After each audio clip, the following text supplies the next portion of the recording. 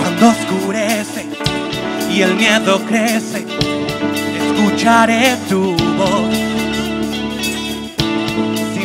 Yo les voy a decir algo que con todo mi corazón. En este mismo sentir de, de fe, de amor, de respeto que hemos tenido por su presencia hoy, quiero decirte una cosa, no te desconectes ahí. Si todavía alguien de aquí, escucha, alguien de aquí trae un dictamen de un diagnóstico de enfermedad, o si tú sabes que alguien que está sentado al lado tuyo tiene un diagnóstico de enfermedad, yo primero que todo quiero decirte que es- bástate de esta atmósfera, porque su presencia en la adoración, aquí está Él.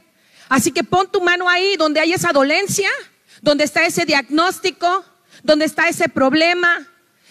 Hazlo, hazlo y créele que Dios sigue respaldando los milagros ayer, ahora y siempre. En el nombre de Jesús te vas sano sano, sano integralmente en tu espíritu, en tu alma y en tu cuerpo.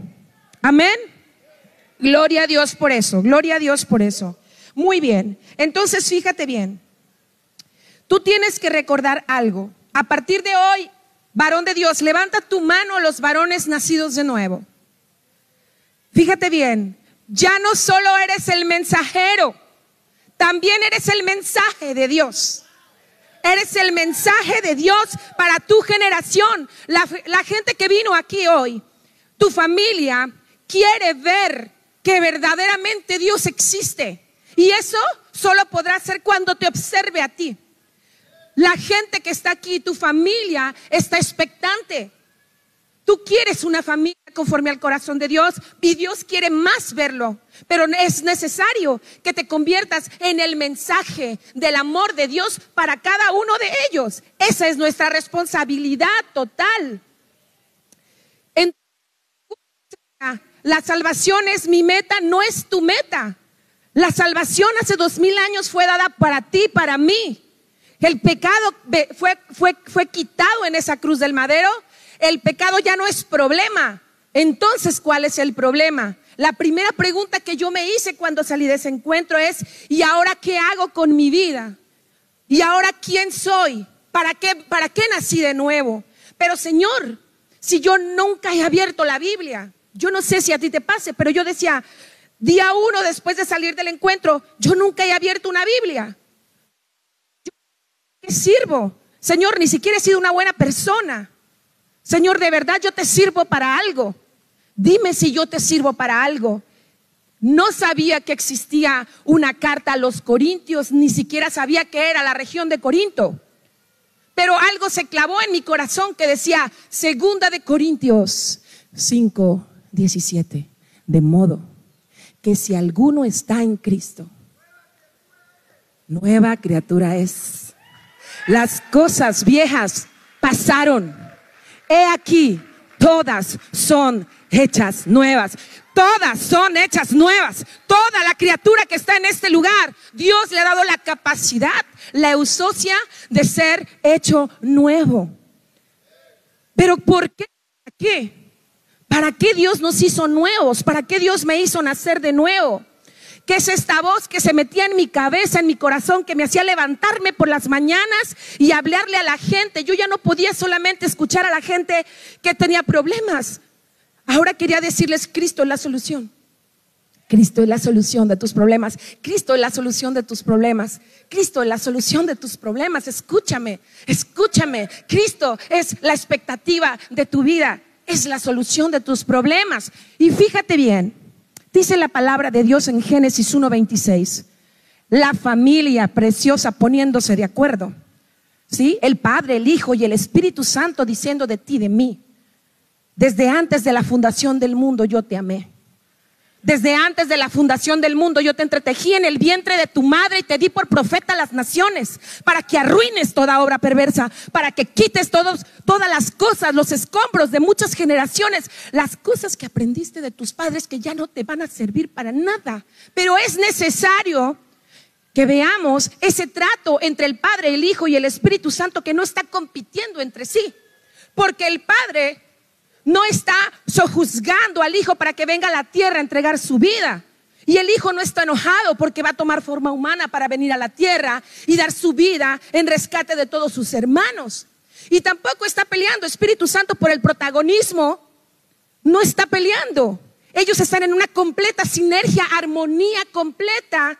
Ellos están ahí poniéndose de acuerdo para respetar la asignatura, la persona de cada uno de ellos. El esposo respeta a su esposa, la esposa respeta a su esposo, el hijo respeta a su padre y su padre respeta a los hijos. Porque hay una sinergia hermosa, porque para que uno pueda ir a lo que sigue en Génesis 1.28, que es fructifica, multiplica, llena la tierra y sojúzgala. Para que esto suceda es que primero tiene que haber este orden interno de la casa. Primero nosotros como padres, como familia, como mamá, si aquí no hay un papá, aquí hay una mamá y es suficiente porque estamos hablando de líderes, líderes, líderes, líder. Aquí hay líderes. Y si tú tienes seguidores, tú eres un líder. No importa si eres mamá o eres papá, tú eres un líder. Estamos hablando de ti. Y estos atributos inherentes de la personalidad de Dios ya fueron vaciados en ti y fueron vaciados en mí.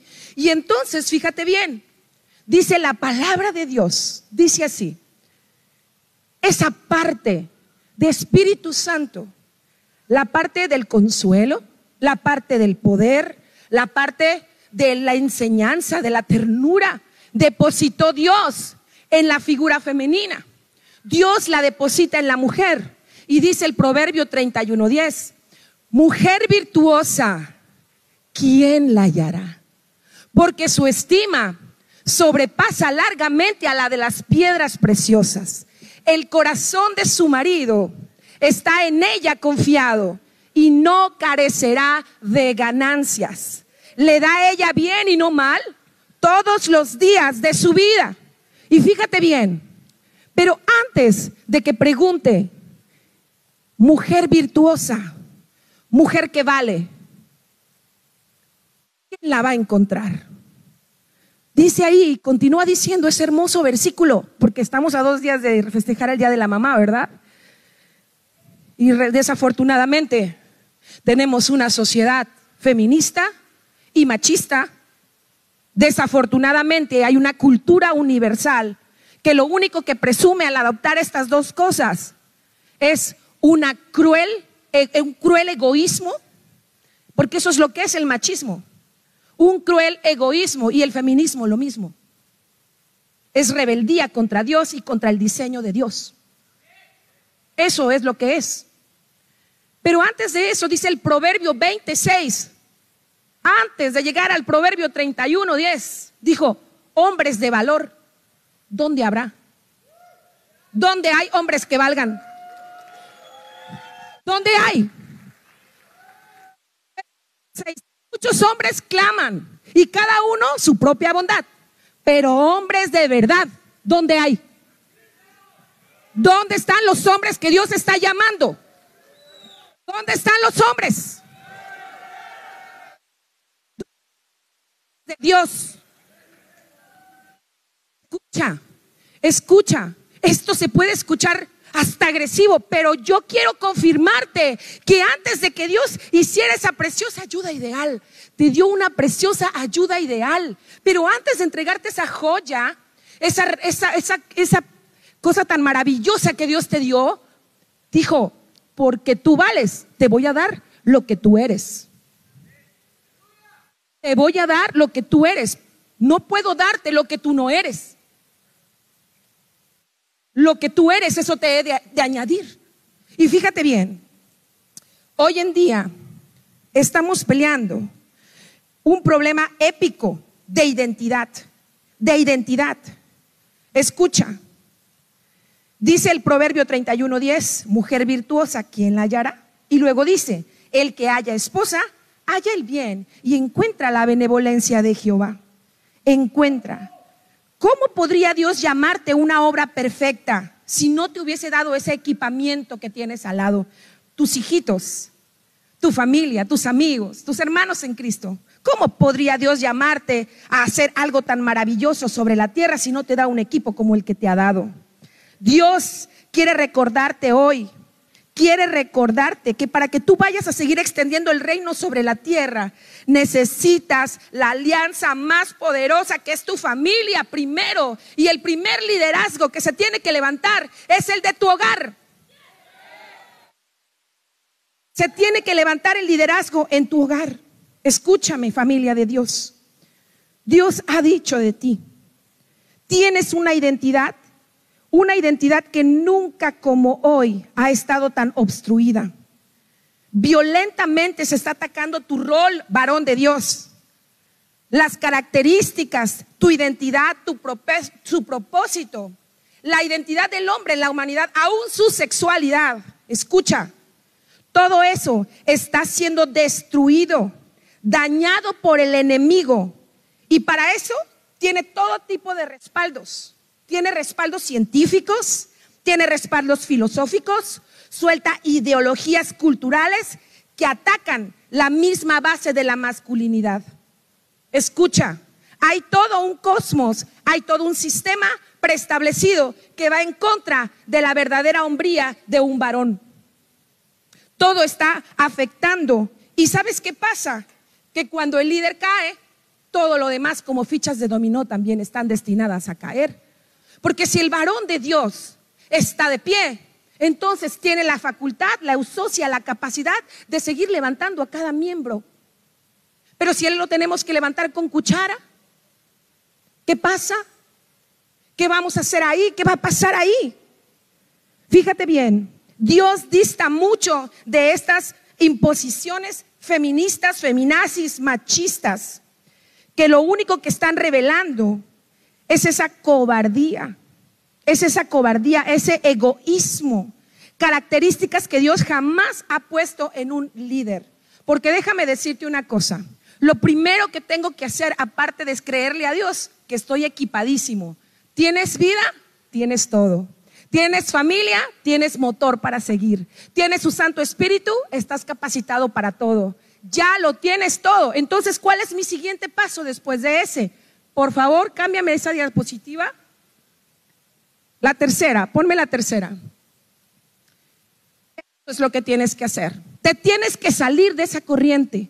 Una corriente es algo que te va a arrastrar irremediablemente. Salte de la corriente de este mundo. Una característica muy importante como líder, un líder jamás huye, jamás abandona. Un líder no es cobarde, pero puede tener miedo. Sí, sí puede tener miedo. Sí, uno salió del encuentro y dije, Señor, de verdad yo te puedo servir para algo. Mira, Señor, no soy la mejor persona. Pero sabes qué, Padre, no puedo ser la mejor persona, pero haré lo mejor que pueda. Y si tú estás conmigo, ¿quién contra mí, Señor? Si tú estás conmigo, tú y yo seremos mayoría. Y entonces vamos adelante. Vamos adelante, vamos adelante, pero me tengo que salir de ahí porque un líder no es cobarde. Un líder no abandona a su gente, no abandona. Nos divorciamos. Después de esto, si no funciona, nada, eso no existe. Se arregla, casa de dos, casados, arreglados, arrejuntados, arrepentidos, levantados, posicionados por el Señor. Bendecidos vencedores. Un entonces, no importa si te tiemblan las patitas, no importa si las cosas las regamos allá atrás, el ADN que el Señor ha depositado en este nuevo liderazgo en tu vida te va a hacer ir a más y dejar de estar titubeante. No seas una persona, dice la palabra, ¿qué vas a recibir una persona que es como las olas del mar? se va y se viene. Hoy le creo al Señor, no, mañana no. Hoy sí, hoy no, hoy sí, hoy no. No, no va a recibir tal, nada tal el que haga eso. Entonces, fíjate bien lo que dice la palabra de Dios. Dice, afírmate, porque no te dio un espíritu cobarde, te dio un espíritu de poder, de amor y de dominio propio. Eso es lo que él ha hecho de un líder como tú. Eso es lo que Dios dice acerca de tu liderazgo. Tu liderazgo está diseñado para que tú venzas en todo. ¿Qué es entonces, pastora, lo que me hace que yo es que le tengo miedo a la familia porque salimos del encuentro y ahora vamos a ir para allá y seguramente nos van a empezar a decir que aleluyas y que esto y ya no sé si yo pueda continuar aquí la próxima semana porque hay gente que me va a estar esperando allá para robarme el gozo. Yo te voy a decir una cosa. Lo primer, el primer obstáculo de un cobarde es qué piensan los demás de él. Es capaz de arruinar su propia vida por el que dirán. Un cobarde le tiene más miedo a lo que la gente dice que a lo que Dios dice o a lo que él mismo pueda llegar a pensar de sí mismo. Una persona que no tiene respeto por sí mismo prefiere quedar bien con los demás. Una persona que no tiene temor de Dios prefiere quedar bien con todos los demás. Una persona que tiene temor de Dios no le importa el que dirán, porque sabe que el Señor está con él, que haga lo que haga, el Señor está con él. El Señor está contigo. La, gente nos duele, ¿qué, gente nos duele? La que amamos, nos duele lo que piensen, pero ¿y si nos plantamos firmes? Y si les enseñamos que esta nueva forma de hacer las cosas va a bendecirlos también. Por la fe se tapa la boca de los leones se ponen los ejércitos en fuga y se ganan todas las batallas. Pero entonces es que yo me tengo que parar firme y no estar titubeante. No puedo creer un día y al otro día no. No puedo venir y no. Tengo que ser una persona firme al Señor. Y entonces aquella cobardía, aquella falta de respeto, aquella falta de identidad que yo tenía, aquella forma eh, malvada de vivir, todo eso es sustituido por un padre, por un líder, por un hombre, mujer piadoso, amoroso, misericordioso, sensible a las necesidades de su hogar. Todo aquello que es basura para ganar a Cristo es sustituido por lo real, por lo verdadero, por el que nos da la oportunidad todos los días de sacar lo mejor de nosotros, de Dios en nosotros y de la familia que tenemos a nuestro cargo. Ser cobarde no es un requisito de líder, es un estorbo. Eso no nos ayuda para nada. Dios no quiere eso de ti, nunca lo ha querido. Tienes que dar un salto adelante en tu generación.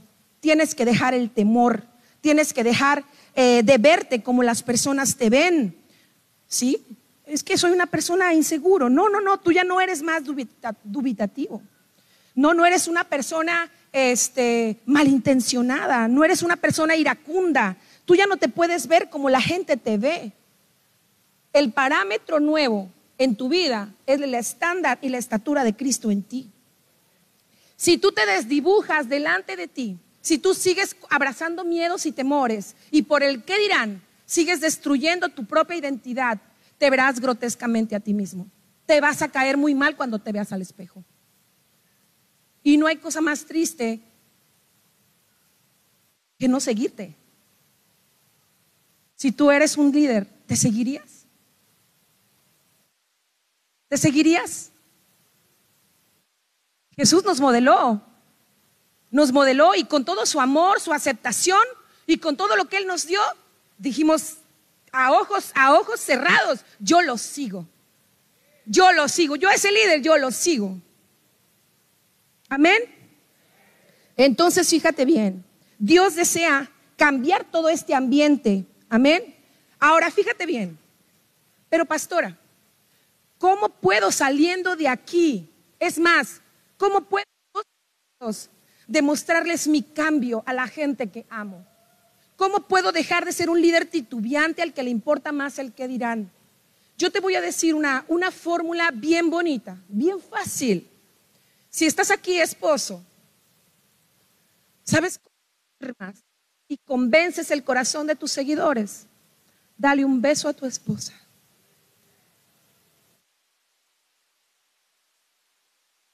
Esposa, ¿sabes cómo convences a tu hija de que un día tendrá un buen esposo? Dale un beso a tu esposo. Esposo, ¿sabes cómo vas a convencer a tus hijos de que serán excelentes maridos. Ama a la madre que le diste. Contra el amor no hay ley. Contra el amor no hay ley. La fórmula más perfecta para que haya un cambio verdadero dentro de nuestra casa. Se llama amor, aceptación, respeto.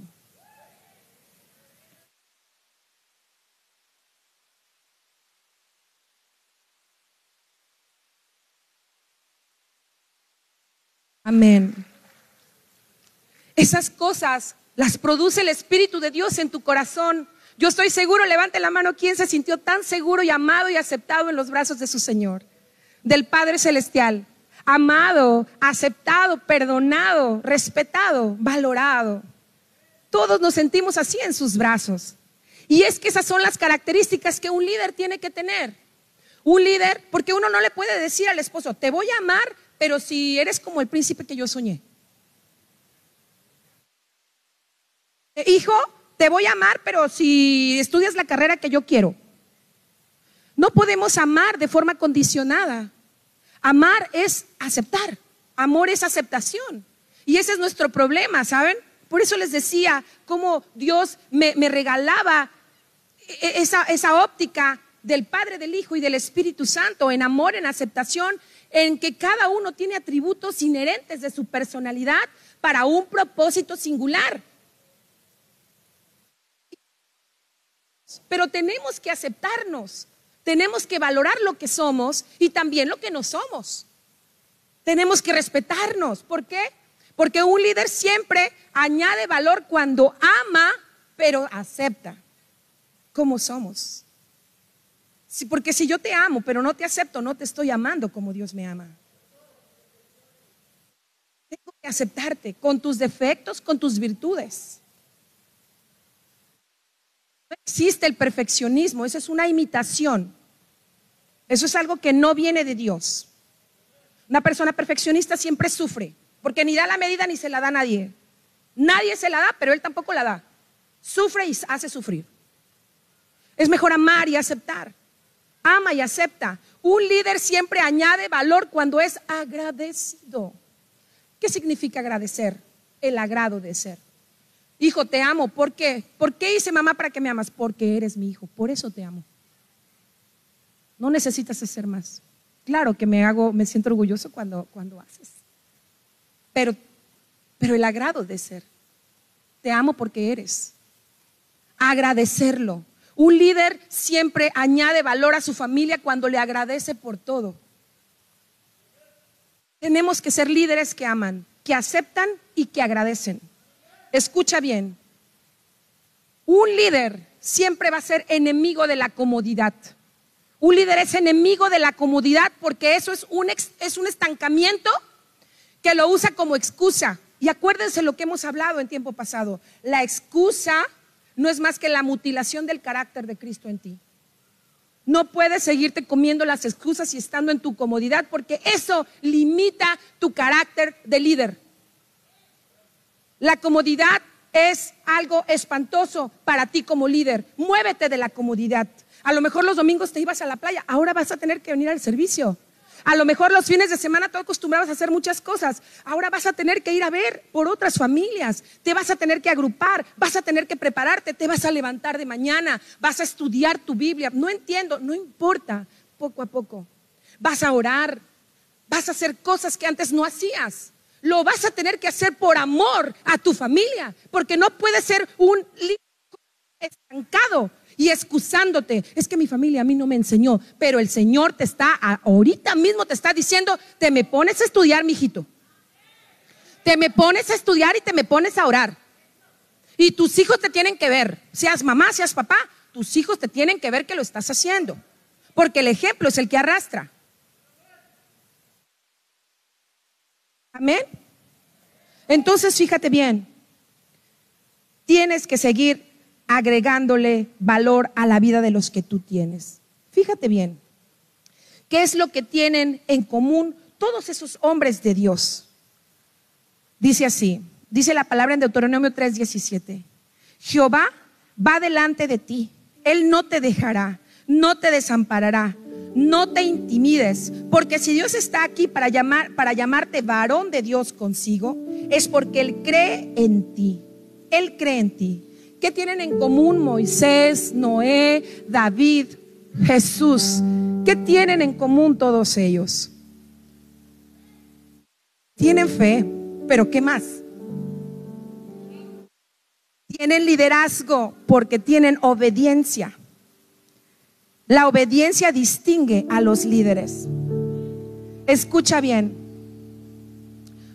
Un líder, un verdadero hombre de Dios, nunca tendrá vergüenza de mostrar su fe públicamente. No tiene vergüenza de mostrarlo. Mical se avergonzaba de David porque ella era una chica junior. Ella se avergonzaba y decía, ¿qué, qué oso, David? O sea, ¿por qué no guardas la forma? Y dice que él danzaba y remolineaba y se desnudaba y me decía, no me importa, me haré más vil por causa de Jehová. Él es mi Señor, Él es mi escudo, Él es mi, él es mi estandarte, Él es mi bandera. a él no le importaba lo que pensara ni aún su esposa. No se avergüenza, un hijo de Dios no se avergüenza. Y quiero que sepas una cosa, como líder, el amor le da plusvalía a tu familia. Tú puedes comprar una casa en la mejor zona o en el cerro más abandonado, pero la diferencia en tu matrimonio, para que no sea cualquiera, tu familia, tu liderazgo, es la plusvalía que le da el amor de Dios sobre tu casa. Eso le añade un valor insuperable a tu vida. El amor añade un valor insuperable a tu vida. Amén. Muéstrate como Jesús lo hizo, sirviendo a tu esposa. Sirve a tus hijos. Sírveles a los demás. Escucha bien. Estamos muy contentos de lo que ha pasado en este fin de semana. Pero fueron 10 años 10 años. Y antes de estos 10 años tangibles, hubo muchos años más de oración por esta familia. Porque una mujer quitó su comodidad y el qué dirán, y no le importó para poner su casa de pie. Y tienes un líder acá, tienes un pastor también, que está abriendo camino para que todas las generaciones pasen.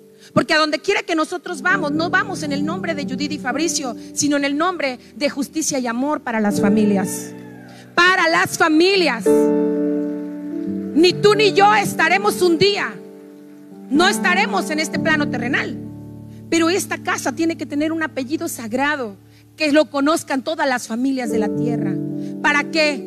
Para que este apellido abra las puertas de tus hijos, de tus nietos, tus bisnietos.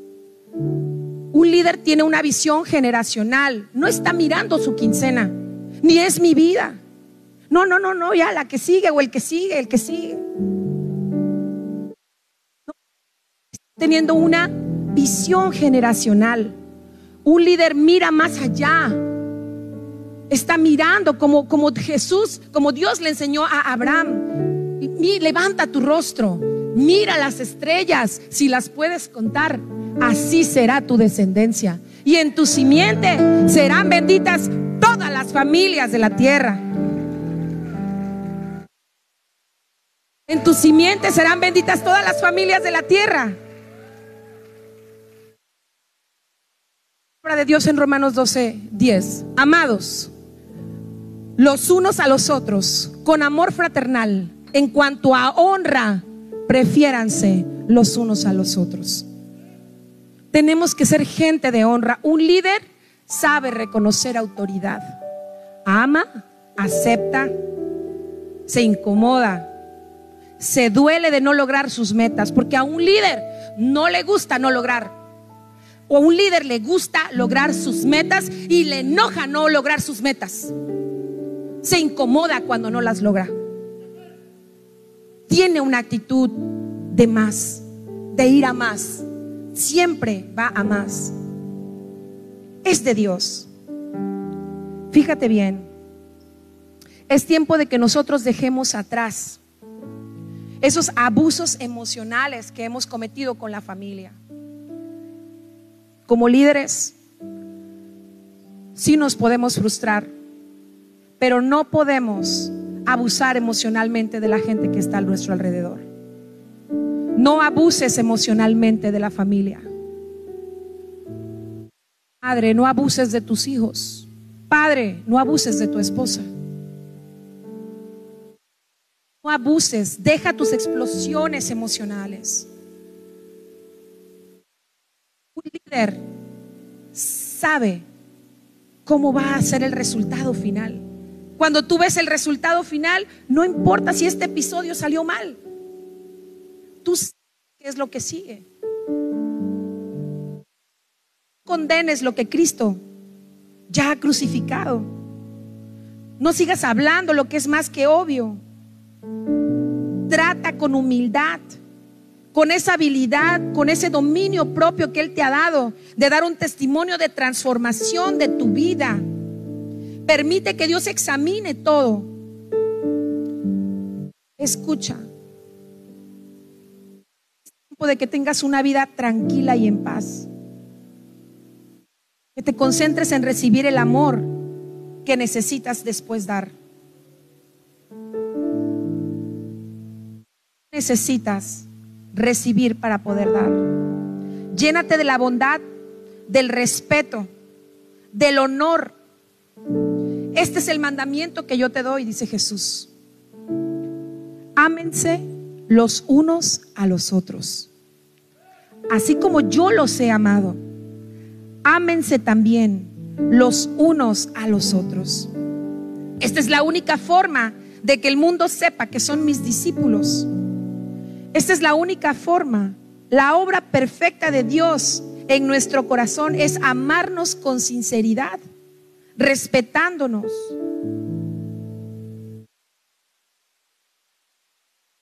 Dios te ha hecho nacer de nuevo, pero no te va a dejar en esa estatura. Dios te lleva todos los días increciendo. Dios quiere verte crecer y lograr, porque un líder gusta de crecer. Se me acabarían los nombres, pero hace un ratito vi a la familia Luna. Yo recuerdo cómo llegaron acá. Y yo recuerdo lo que decían de su empresa. Por poner un ejemplo. Y vamos a crecer, y vamos a ir a más, y vamos a dar más, más. Queremos darle empleos a las familias, queremos ser fuente de bendición para otros. Esa es una oración correcta. Señor, hazme crecer. Hazme verme como tú me ves. Hazme crecer delante de mis ojos, Señor. Yo sé que delante de ti soy grande, pero permíteme quitar esta idea distorsionada de quién soy. Llévame allá, llévame a donde tú dijiste que yo estaría junto a ti. Llévame, Señor. La característica de un líder es que disfruta el crecimiento. Estamos disfrutando el crecimiento. Tu crecimiento. Tu crecimiento en Dios. Vemos lo que viene para ti.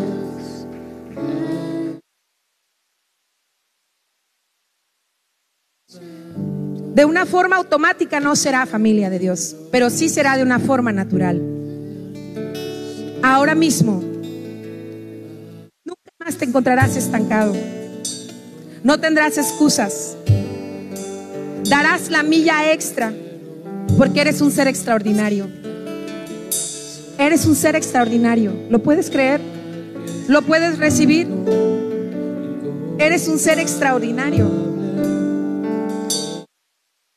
Dios ha dicho de ti, bondadoso líder, compasivo, perdonador, lleno de ideas, un campeón que siempre logra todas las metas que se pone. Para Dios alguien que tiene la capacidad de pedir perdón. Digan amén.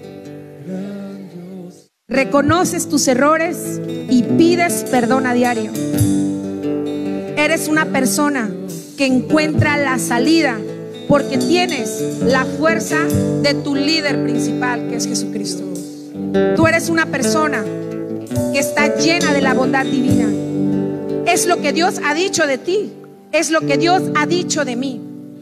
Eres una persona capaz de empatizar ahora con todos los que antes no lo hacías.